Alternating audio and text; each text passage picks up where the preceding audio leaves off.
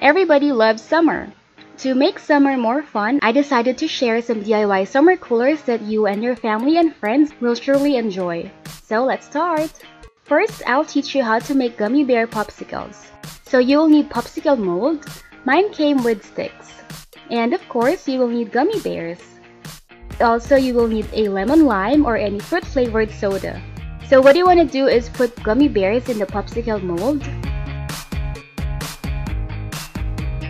You could put as few or as many as you wish, but be sure to leave enough space for the soda. Now it's time to pour soda in the mold. Don't put too much as the liquid will expand a little when frozen.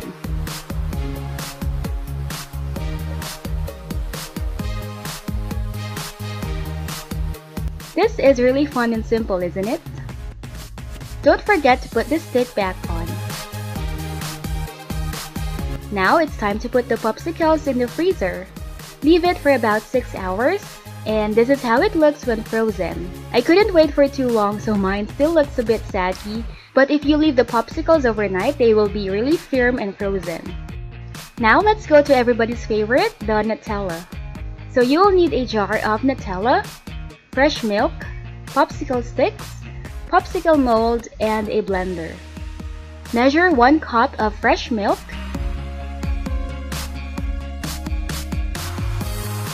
and then put it in the blender.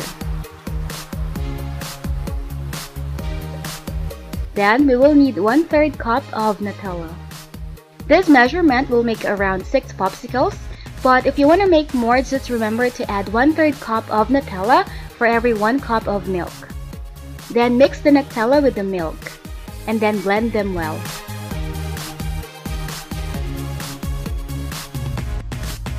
Now it's time to pour the mixture in the popsicle mold.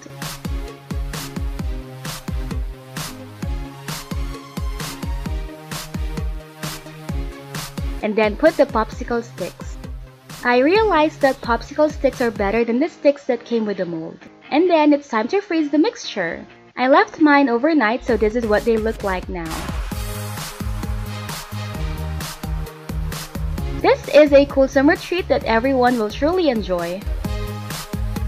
I hope you like this DIY summer coolers and please stay tuned for more. Please like me on Facebook and follow me on Instagram for more fun DIYs. Bye!